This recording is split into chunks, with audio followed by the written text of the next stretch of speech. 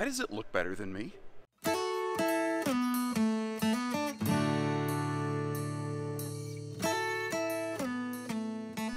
Hello and welcome everybody. Josh here from Bish's RV, and I think it was almost at the exact same event uh, previously that I recorded the 2022 version of this, the North Trail 24 BHS. This is a very conventional, straightforward bunkhouse, but kind of like a crocodile or an alligator, some things don't need to change to stay deadly. So if you've got like a half ton vehicle or a bigger tow package SUV, which would be great for moving your family around, you may not have to like, you know, give up your daily driver necessarily just to go camping. And with the wide stance stability axles, the weight rating on this, and the generally shorter length, it should tow pretty darn nicely. Now, um, North Trail listened to a lot of the feedback that you gave last year. They were able to adopt some of it. They weren't able to adopt all of it. We're going to take a look together to see what they were able to accomplish. So if you've never seen a North Trail, um, this is what you don't judge this book by its cover. It's got some key details. It's got all the right junk in all the right places. Um, it, it's not the biggest, fanciest, flashiest RV, but we've got things like a true two-inch sidewall, which very, very few brands offer, especially in travel trailers. That's incredibly uncommon. They have perhaps the biggest front storage compartment I think I've ever seen on a travel trailer as a, as a matter of happenstance, not some goofy one-off floor plan. Underbelly is heated. I mentioned the wide stance axles. They've um, done a little bit with solar. I would have kind of liked to see them go a little bit further, but I'll be interested on your feedback on that. Um, the camp kitchen is great. The RV does have a couple hiccups though. Like it's awesome it has a plywood floor. It's awesome it has a big king bed in this thing, like a fifth wheel size king. But um, the king bed really eats up the space. Like you crawl in bed and that's all you do. But I, I think a smaller RV like this, you spend more time uh, outside anyway. The road mode, you know what? I can't remember. We're going to have to close the slide to check on the road mode, but doing things like that for you, that's what we will do for you in this video. And if you like those little extra steps and extra efforts, oh, which reminds me, I, I am really excited. I have some awesome footage of the dinette you have to see on this one. And as you may have discerned rather quickly, yes, we are in a uh, like a show display space here.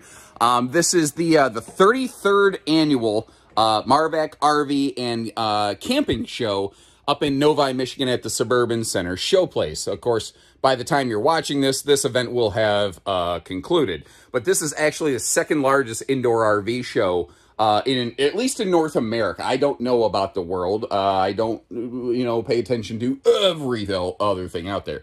Now, I'm gonna give him some credit here. And again, that's that's the thing with this video. I I've got some things that I really enjoy about this.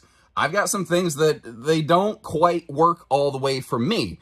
But the thing is, you want to leverage the good and the bad against the budget of the RV sometimes. Now, if something's a deal breaker, I'm not saying, well, you should always have to make sacrifices and, and, accommodations. I'm not saying that. I don't believe in that. For this kind of money, I don't want you to do that. But sometimes the juice ain't worth the squeeze is what I'm getting at. So uh, what does this one have? First of all, um, the, the roof structure is very similar to like a, a Rockwood, a Surveyor something like that. Laminated roof structure. Um, so very evenly consistent thermal uh, kind of qualities to it. Central air, um, and like a lot of Heartland products, they H-duct, unless, you know, the ducting would run into the refrigerator, then, well, they stop. 12 volt DC compressor fridge on these. I don't think they're doing any more two-way fridges. Now, I'm looking at a uh, an Eastern build, a Midwestern model uh, built out of Indiana. Their Western production, uh, it used to be two-way fridge only. I don't know if they're actually offering that anymore. Um, I haven't had it. Everything is still new at the time of this filming. All the 23 updates are still floating in. Now, this is a plywood floor with no heating vents in the floor. See, um, a lot of times people get worried about soft spots developing. That's not going to happen here, basically, unless you decide to pogo stick this thing. Um, also, carpetless marine woven uh, slide flooring in there. And they have toned down the slide fascia a little bit. Last year, this was like a bright butcher's block. It had a neat natural wood look, and it still does, but I think they dialed the color palette in a little bit better here. And speaking of color palettes, just wait. I can't wait to show you something. I, I, I, caught some footage. I think it's just very cool, and I'm very proud of on that dinette. In fact, I, I might end up reusing it several times uh, the rest of the season here. Now, this is all sealed edge thermal foil countertops through the entire, uh, or pardon me, in the kitchen. Actually, not the entire RV. That's one of the few eh, I have. But, you know, around the kitchen water source, you're good. Now, what do you think about this? In a way, I, I really like that the awning button is down there so that I can reach inside the RV from outside of the RV and I can open the awning. I don't know that I love the slide out button down there, but with laminated walls and a laminated roof, sometimes it is a little bit tricky trying to figure out where to put all that stuff. Now, I need to get some clarification on the factory on something because uh, the bottom bunk here says 300 pound load capacity, and then the top bunk says 200 pound load capacity. And usually they're a little more consistent than that. Oh, by the way, you might have noticed you do have windows for both bunks. One comes off the back and one comes off the side. The bottom one comes off the back because the camp kitchen would block it if the camp kitchen is open. Also, you can't easily see them, but those lights actually do have USBs integrated into them. So there are USB plugs for both the upper and lower bunks. That's a cool little detail factor. I think they did some really cool things there. Um, I always do this. I don't know why. I, I, I, I moonwalk backwards all the way just so I can open the bathroom door now that it's clear across the camper. I'm an idiot. Anyway, surprise! Bathroom door's open. Uh, moving on over here. Um, if you're looking for things like a porcelain foot flush stool or a bigger bath vent fan, I know a lot of people, uh, at this point, I'm not going to ask. I know that I think everybody would prefer a porcelain stool and a bigger bath fan. If, ooh, hold on. nice space around the counter. I like that. It's just a little bit deeper on the right-hand side there. Okay, anyway, I think, yeah, pretty much everybody would prefer the bigger fan, a porcelain toilet. It adds a little bit of money, but the good news, those are what I call screwdriver fixes. Those are easy things that if you're looking for those, we can take care of those for you um, at our uh, Bish's RV locations. Now, that vaulted ceiling and the skylight, uh, being laminated, it allows them to put the skylight wherever they want it, essentially. And on this floor plan, it really does help uh, the, the, vaulted ceiling uh, in conjunction with that to give me the headroom that I need in there.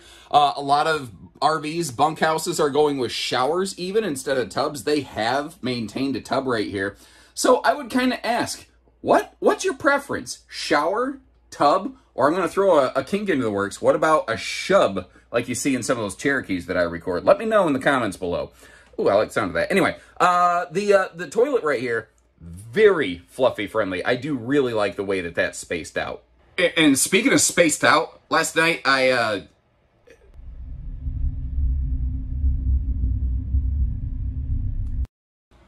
Ah, sometimes the jokes write themselves, even when you don't want them to. I didn't ask for it, folks. It just found me. Anyway, now this is interesting. There's a slide side window here on the forward-facing wall but not the rear facing wall. So you don't get maximum airflow out of that. That is one of those things I'm like, eh, what? It's, eh, it's eh. I, I don't know. I, obviously, I, I feel a, very certain way about it. Just, eh, it sounds like Michael Jackson. Eh.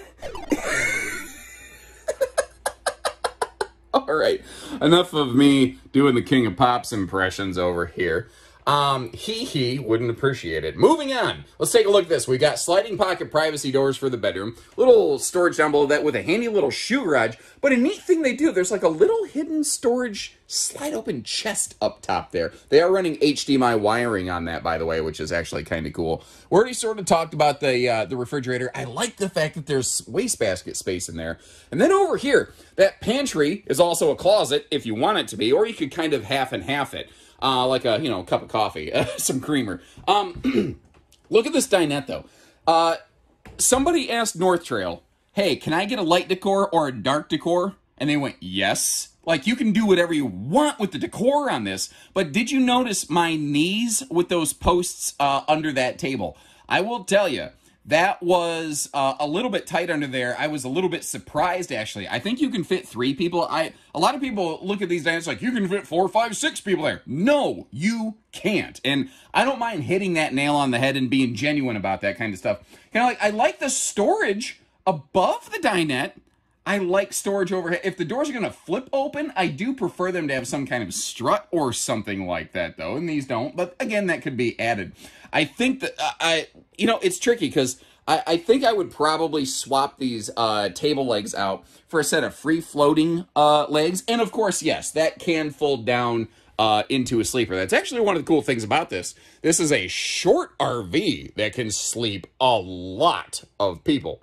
Now, speaking of sleeping, the bedroom footage I'm about to show you is not going to like look super visually impressive because they shoved a big 72 by 80 king bed uh, into a small space and put maximum overhead storage on it. Now, if you're tall like me, be careful. That can be a head knocker, so you're going to want to consider that a little bit right there. Um, where do we, let, let me look you all the way around here. Now, if you're looking at this like, uh, no, I need more walk around space than that. This is easily sized down to a queen. The bed base under it is queen sized. So you don't have to worry. Uh, like, you know, it, it, comes from the factory with a king, but you can get it with, uh, you know, a, uh, a queen bed. You could put one in if you want. Now, the other thing that I thought was interesting, I'm not, I'm not going to tell you it's the best mattress I've ever seen, but for an RV in this class at this budget, they are not using that backbreaker death wafer mattress piece of crap that everybody uses. Going to give them some credit where it's due. And the road mode is not bad. Now, uh, by the virtue of the fact that I can slide up here into the bedroom, I'm sure you can presume that, yes, you can get to the bed. Although, it is definitely easier to get to over here on the door side. Uh, the, the driver's side of the RV, it's pretty much pinched off. However, the RV is not really pinched off in transit. One thing I do recommend if you're going to travel, though, take the table down. Put it down on those runners, and it's less inclined to bounce and jiggle and wiggle around or strap it down or do something. But the fact is, this thing is absolutely uh, Cracker Barrel compliant. If you got to make a travel stop, you got to sleep on a long trip, somebody's got to get back here. Hey, mom, dad, you know, I got to get to the potty or anything like that. Uh, you can, I mean, even the the big pantry over here, even if you the RV's like stored beside the house and you can't open the slide, but you want to get it packed for the trip, you can do all of that right here. By the way, depending on where you're watching this, uh, check for a link in the video description. If the uh, uh, uh, contest entry is still open, you could enter to win a $30,000 RV from any one of our stores, which I think is actually uh, pretty cool. Anyway, back to this thing here. Let's talk towing. What's it going to take to get this thing down the road? Again, with the size, the weights, the measures, I do think that this qualifies for the uh, a good, you know, uh, qualification for the general descriptor of half-ton towable. Obviously, there are some half-tons that are super capable, and there are some half-tons that are not super capable, and you always want to check that on an individual vehicle basis. Or if you have something with half-ton equivalents, like a bigger tow package SUV, you might be good here. Power tongue jack doing the lifting on the front for us, 20-pound propane tanks, meaning on a Sunday you could swap them out at a gas station if need be. By the way, you might notice how we've got all these tail lights running. This is a, a fun little thing right here. Of course, oh, sh out! okay, take 37, go. Okay, so if you look at your pigtail, there's the notch at the top take just like a little fuse or something like that and jump it into the top two. One of those is the uh, the hot line, basically, the 12 volt line coming off the battery. And one of those is your clearance lights. Now, the only thing I would ask is, um, you know, with great power comes great responsibility, um, as uh, Uncle Ben's Rice used to say. And uh, make sure you don't do that at night and blind your neighbor. Nobody wants all of your camper lights on at night. It looks really cool, I get it. But um, it doesn't make for good neighbors necessarily. Magnet hold max, slam latch compartments right here. They call this their King Kong size storage. Because apparently just flat calling it King Kong storage would have been like, you know, an MGM kind of lawsuit or something like that. Actually, funny story. Um, Nintendo came out with Donkey Kong, and uh, movie studio tried to uh, sue them over King Kong rights. Funny thing is, the movie studio never actually copyrighted King Kong, and Nintendo said, bring it. And that's when they were a small company. They'd have gone broke. Now, this, I need your input on this, because I don't know how I feel about it. And I'm going to ask you to, to write your comment, and then I'll provide you with my take on it. Last year, they had zero accommodations for solar. This year, you see the charge controller down in the pass-through. Now, when you see a charge controller, you assume solar panel, right? Well, Take a look up at the roof of this thing. They prepped it for solar further than anyone I've ever seen. And actually, this is, there's a, you know, okay, so here's the difference in the RV industry between something being prepped and being ready. Prepped means, well, we kind of started it, but you're going to have to finish it and it's going to cost money. Whereas ready means plug and play. It looks like they made a solar ready plug and play package for this year, which is uncommon. They let you basically just pick your panel and go. I don't, at the time of this filming, have awesome information on the uh, the capacities of that charge controller, the amperage, the that sort of thing. I'm working on getting that. Um, however, I, I mean, what do you what do you think about that concept? Like, is solar ready instead of prepped? Like, is that good? Is that enough? I, I really want to know what you think about that. Now, I say this all the time. Every RV's greatest asset is its greatest liability. The King Kong storage has a gigantic freaking door, which means uh, there's not a whole lot of leftover sidewall space for an awning, especially when you've got a big, uh, you know, camp kitchen door hanging off the back here next to the old. We got to name this. We got to name this stupid thing. What do we? What do we name this? I don't know. Um, nerd board. what do we name that? I walked in and I'm like, what is this? What is this? By the way, a bunch of people have been asking for various merch. We are uh, starting to get there. We're not totally there yet at the time of filming, but we'll get there. Anyway, the camp kitchen. So this is interesting. Every single North Trail has some kind of outside camp cooker. You see over here, we got the little college kid dorm fridge. Very good for the bottled water and the barley pop, of course. Um, if it's a camp kitchen model, the, the cooker will be like right in the kitchen. If not, it will be like a grill that goes on the back bumper. Now, obviously, one of our team members uh, taking full advantage of those outlets to keep their laptop charged up. And it's great that they have a full sink in this camp kitchen. It is buried in there, and especially if you're cooking something hot, you're going to be dropping it like it's hot. You're going to burn your arms like uh, somebody on Top Chef trying to get into that thing. That just ain't going to work. Um, okay, let's talk construction. Laminated uh, walls, um, a, uh, a non-laminated floor though, 5 8 tongue and groove plywood floor decking. So sometimes people get worried about a laminated floor developing soft spots. North Trails, you're not going to have that kind of issue. We're backup camera ready, but frankly, even if an RV isn't, it is. And if you're curious as to why I say that, leave me a comment and I'll, I'll fill you in in the video description. But last year they had zero uh, ability to get up to that fully walkable laminated roof. Well, they don't have a ladder, but like a lot of brands, they're doing that little ladder prep mount. So if you get one of those free-floating telescopic ladders, well, you know, you could you could make that work over here.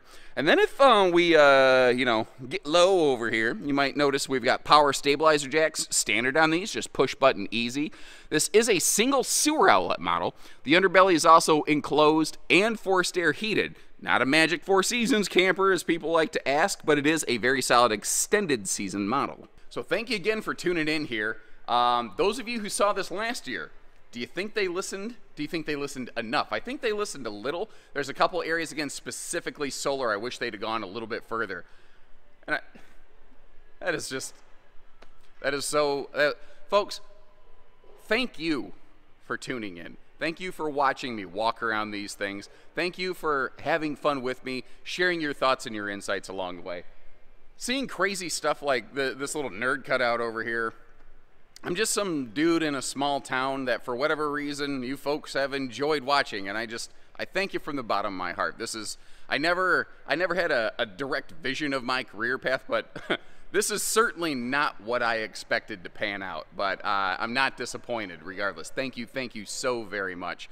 But until next time, uh, again, always leave me the feedback. I'll leave you some links in the video description, some other similar bunkhouses, or maybe something like tweaked just a little bit. If you want to see what else is out there, um, maybe if you're just getting your toes wet, you're not familiar with the entire alphabet soup of the RV industry. I'll leave you some links there, and of course, a link to check pricing and availability. So if you're new with us, if you appreciate this, hit that subscribe button. If you've returned, like our video, and until next time, take care, stay safe, have fun, and happy camping, everyone.